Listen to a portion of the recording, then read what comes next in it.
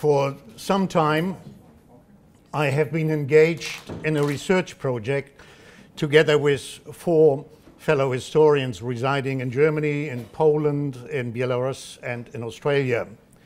Our joint project is designed to depict landscapes of death, or to use the term by the Austrian historian Martin Pollack, contaminated landscapes. We aim to shed light on the murder sites of the Holocaust and the sites of other heinous crimes perpetrated by the Germans and their collaborators. This is a new, steadily growing area of Holocaust scholarship. In autumn of last year, we embarked on a journey to Belarus, following the route of a German-Austrian Order Police Battalion 322, which, in the wake of Operation Barbarossa, murdered um, more than 10,000 Jewish men, women, and children, in most cases in secluded but easily accessible forest areas. In Minsk and Mogilev, we visited the sites where in September 1941, psychiatric patients were selected by the SS as guinea pigs to test supposedly termed more humane, that is, less taxing killing methods than open-air shootings. The first experiment in Minsk using explosive turned out to be unacceptable. The second experiment in Mogilev using car exhaust fumes containing carbon monoxide was more successful. As a result, new, larger and more efficient stationary gassing installations were designed to put into use in the extermination camps of Belzec, Sobibor and Treblinka. They facilitated the murder of more than 1.6 million Jews by monoxide. monoxide. The links between the so-called euthanasia program and the final solution are well known. 94 employees uh, served as experts in the running of the extermination camps of Operation Reinhard. The Mogilev experiment also led to the construction of new mobile gas van to be deployed in the conquered territories of the Soviet Union and other areas. In Belarus alone, between 20 and 30,000 Jews and other victims suffered uh, harrowing death in gas vans. I will provide you with a short historical account of the killing experiments in Minsk and Mogilev and show you a few photos on the murder and memorial site uh, shot by a Berlin historian, Dr. Alexander Kley. From the outset, the architects of the final solution showed concern for the psychological well-being of their willing executioners. Clear instructions were given to ensure that the killers came to no harm. At all murder sites, coveted schnapps and cigarette rations were distributed. Excursions and other forms of entertainment took place in order to wipe out the impressions of the day. Films, cabaret, comedies and bunte Abende, lively evenings, uh, often turning into drunken orgies, enjoyed particular popularity. A festive atmosphere prevailed at the open air shootings. And yet, it became quickly apparent that marksmen had to be relieved of their duty when the sight of, of a massacre induced vomiting or signs of nervous collapse. Some reactions frequently occurred when the shooter's face arms, or uniforms were hit by pieces of bone or brain from the victims and occasionally resulted in eczema and other psychosomatic symptoms. SS medical experts uh, and uh, reliable university professors were asked for advice and assistance. The patients were cared for in special wards and clinics sanatoriums, and holiday resorts.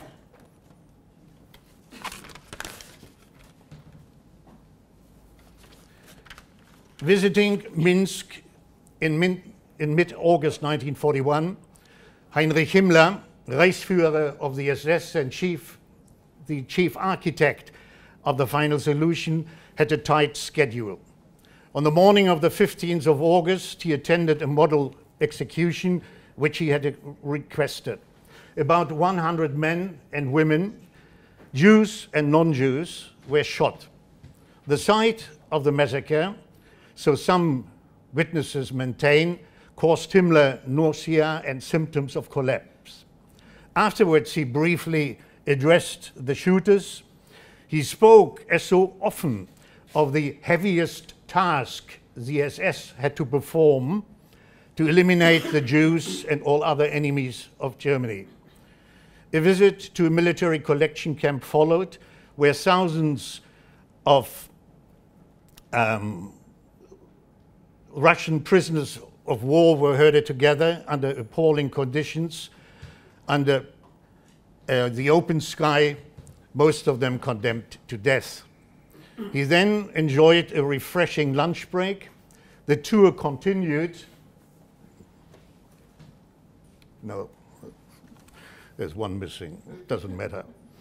Um, he then continued to tour along the Jewish ghetto, which just has been established by the military um, administration. And in the late afternoon, he arrived at Novinki, six kilometers north of Minsk, at the mental clinic. In 1918, Novinky had been set up as a kolkhoz, a state farm, as a psychiatric labor colony with 300 acres of farmland, extensive uh, livestock, fruit and vegetable gardens. Himmler ordered the immediate confiscation of the agricultural estate to be handed over to the police and SS in Minsk. He also instructed Nebe to search uh, for a more humane killing method than shooting and to put the clinic's patients out of their misery. It took one month to prepare the ex experiments. Dr. Albert Widmann, as head of the Chemical and Biological Department of the Reich Office of Criminal Investigation, was involved, he was already involved in the T4 uh, operation, was sent to Belarus. He brought with him 250 kilos of explosive, fuse wires and a detonator, as well as gas pipes uh, hoses and other special equipment required to carry out the experiments. Shortly after their arrival, about 225 patients, Jews and non-Jews, were selected by the clinic staff and brought to a nearby secluded edge of the forest. Two Unterstände, dugouts, once set up by the Soviet army, used as a detonation chamber. Um, within the uh, very small uh, dugouts, explosives were placed, installed on the ground and installed and at the walls and then connected with fuses. Then Nebe, the commander of the Einsatzgruppe B and in charge of the experimentation, um, detonated or um, put the detonator on and then what happened was a horrific catastrophe. The explosive effect were so horrific that the dugouts were blown apart. Parts of the body could be found meters away, and even some on, um, had to be removed from treetops. Such an experiment was, to my knowledge, never repeated again. We did not succeed find, to, to find the murder site. However, we were permitted to visit the psychiatric clinic called today the Belarus Research and Practice Center for Mental Health, caring for more than 1,000 patients. Passing along the statue of Ivan Pavlov, the famous Russian scientist and 1904 Nobel laureate in medicine, waiting anxiously for quite a long time in the overcrowded entrance foyer, we were cordially greeted by the deputy director and the chief um, psychiatrist.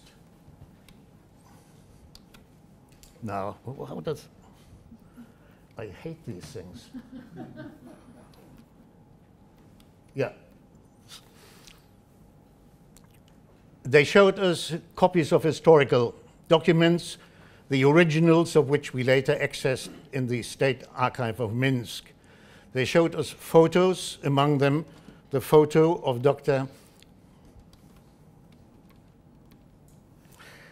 Anatalia Akimova, a Jewish physician the former clinic's director. Dismissed in November of 1941, she was incarcerated into the ghetto of Minsk, and she was one of the very few who survived the final solution. In 1946, during the first war crimes trial in Minsk, they gave evidence on the murder of the mental patients.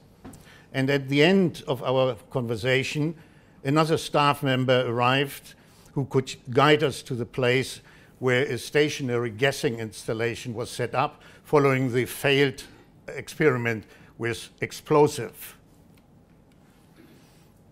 We strolled through a redeveloped area along a new, along a new church and monastery complex, passing a touristic market before arriving at the former murder site. The building housing, housing once the gas chamber had been developed, uh, um, abolished and replaced by a modern apartment building still under reconstruction. Patients were gassed in rapid succession. Already, already at the end of October 1941, Novinky and the entire area around Minsk was declared, and I quote, free of all idiots. The clinic was, that was a term officially used by the military and civilian administration. The clinic was closed, transformed into the headquarters of the German Gendarmerie, the rural police. There was no memorial to the victims. The next day, we left for Mogilev, located in eastern Belarus, a region which had close to the front line remained under military administration throughout the war years.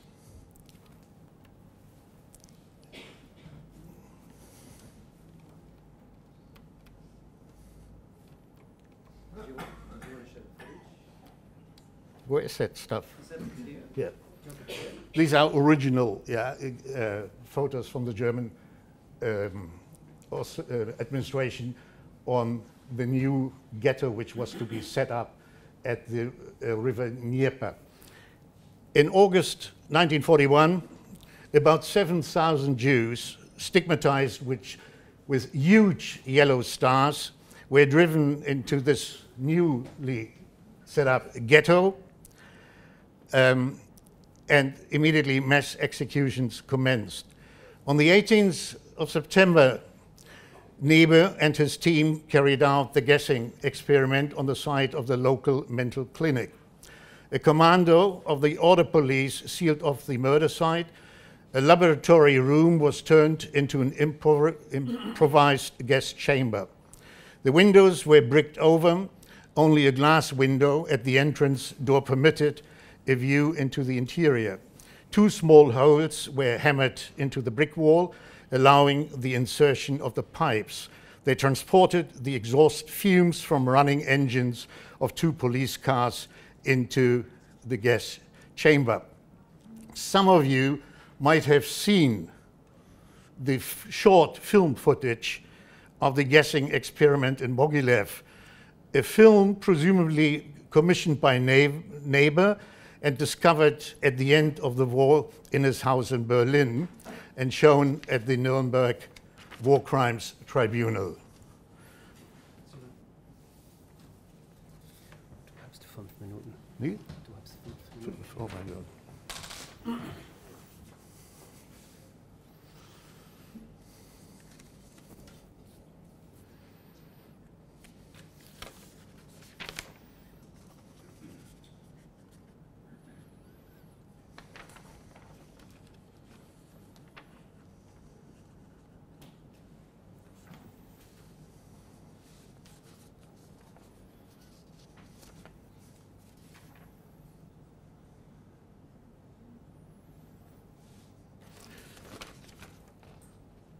What the film does not show, what the film does not show is what Widmann described 1960 in, in a court with these words, I quote, once a patient selected as incurable and socially dangerous had been locked up in the laboratory room, Nebe gave, gave order to start the engine. He then went to the entrance door and watched through the window the effects of the poison gas. Returning after five minutes, he declared nothing appeared to have happened. He had another look after eight minutes, still no result. We came to the conclusion that the engine of the car was not powerful enough. Nebe gave order to use the engine of the truck of the order police. It then took only five minutes. Before the people were unconscious, we left both engines running for 20 minutes, quote, ends. I don't have time to tell you what happened with these main perpetrators after the war. What I would like to stress is uh, one aspect which has been hardly taken into account by uh, research, namely the responsibility and role played by the German army in the killing of mental patients.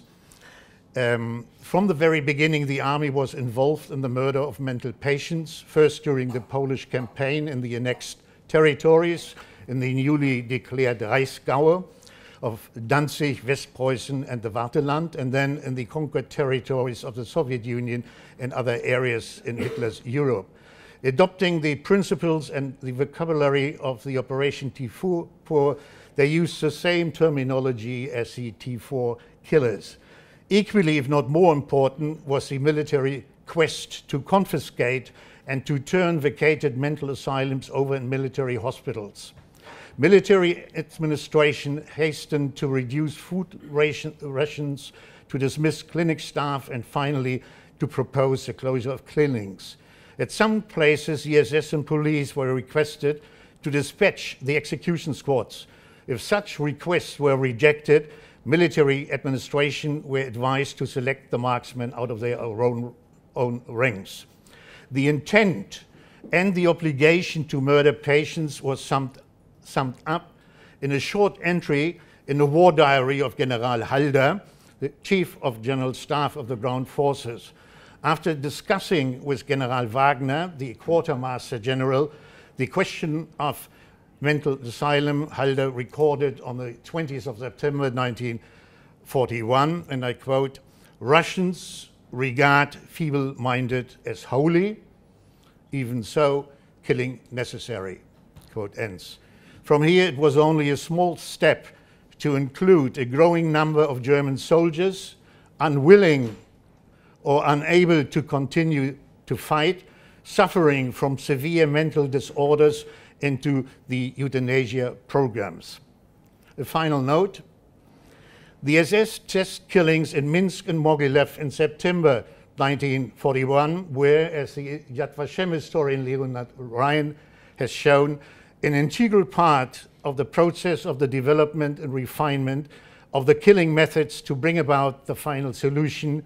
What mattered was to find and to deploy the most effective lethal weapons which would make the task of the executioners easier, namely the task of unleashing the genocide against Europe's Jews.